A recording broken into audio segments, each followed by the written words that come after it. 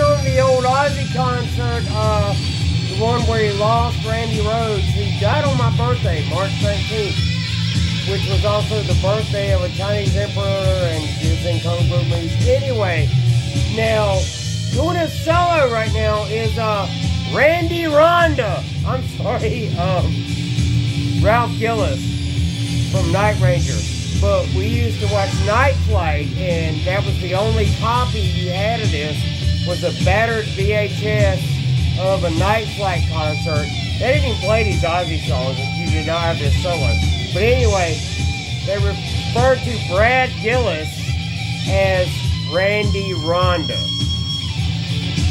which we thought was hilarious, and so you know that might be my new porn name. Anyway, um, look. I have never denied my mental roots.